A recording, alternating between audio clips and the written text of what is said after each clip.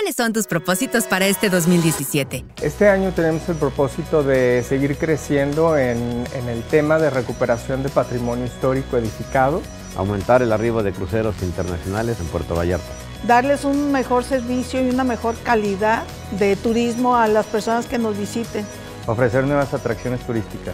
Este año espero que haya más playas incluyentes. Seguir siendo uno de los destinos más visitados de México. Que haya más hoteles para incrementar el turismo.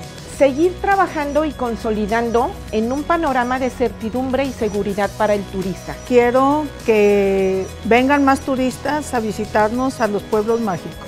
La implementación de la actividad turística que sigue siendo un motor económico sumamente importante para todo el estado. En Jalisco estamos listos para enfrentar los retos por venir. Jalisco sigue adelante.